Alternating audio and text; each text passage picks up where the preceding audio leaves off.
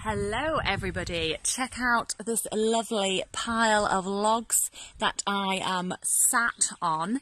Um, now we're going to show you today how we actually uh, gather these logs and create these logs and the machinery used because we have a log burner in the house. At the moment it's the only heating we have downstairs and it's so cold for me.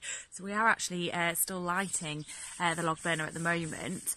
Um, just to mention, we only ever take the wood from trees that have already fallen around and about on the farm.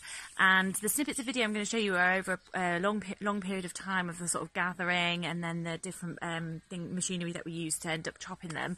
Um, the first uh, gathering process was there was actually snow on the ground. It was taken sort of late January, February time. So let's get going. Uh, here's the fallen tree. First job will be to saw it into small chunks so then we can create a little wood pile ready to transport up to the farm.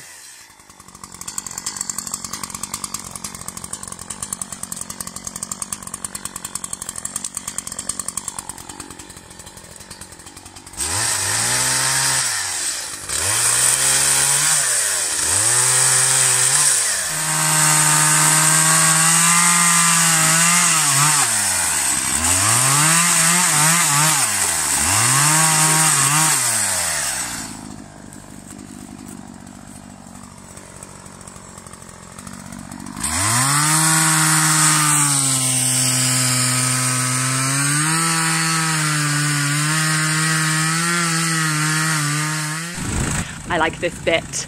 This is the little wood trailer or forestry trailer or timber trailer, whatever you want to call it, with the grabber. It's the grabber I love. It reminds me of being like in the amusement arcades, except maybe slightly harder.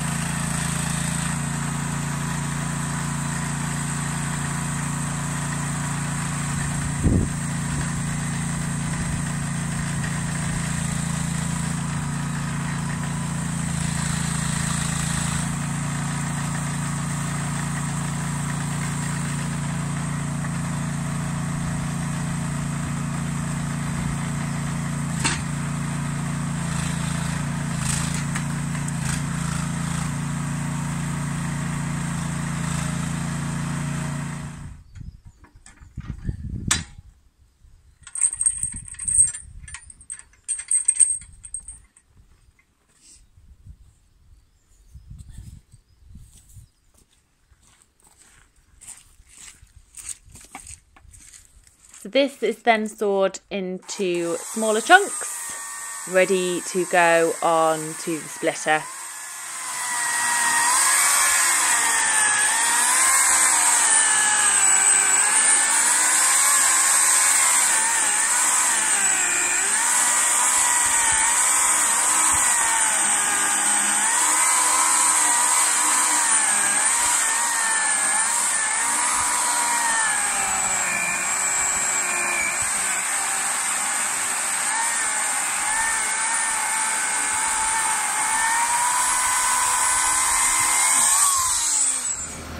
And here's the splitter in action.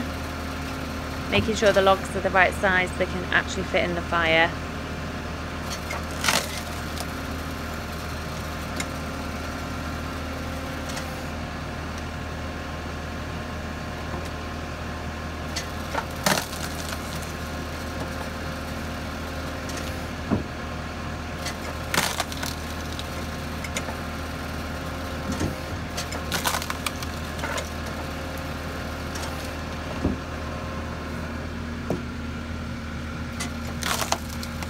And here she is. Can you feel that warmth?